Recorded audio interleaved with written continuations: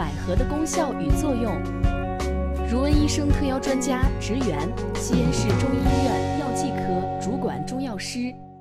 百合呀，它味甘性寒，气微，味道啊微苦。我们说它归心和肺经，它药食类兼用，所以它力量较缓。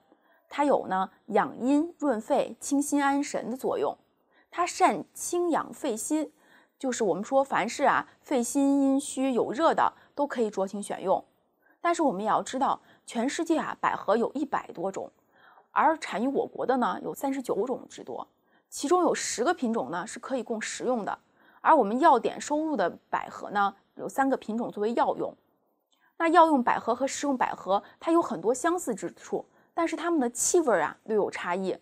我们的药用百合呀，它气淡而味微苦，而我们常说的常用的这些什么菜百合呀、兰州百合，它的这个是气甘淡而味微甜，肉质呀更饱满，口感更细腻。它一般不入药，但是它富含糖类、蛋白质、维生素等成分，营养价值很丰富，可以作为一个食用的佳品。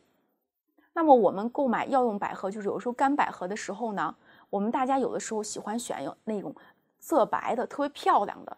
其实要说一下是这个外观看上去接近白色的呀，有的时候我们闻着有刺鼻味儿、口尝微酸的，并不一定好，因为它可能存在硫磺过度熏蒸的问题。所以我们购买干百合的时候啊，不是越白越好的。同时还要提醒大家，因为百合呀，它寒润，风寒咳嗽或者中焦有寒、便溏的人呢，人群是不建议食用的。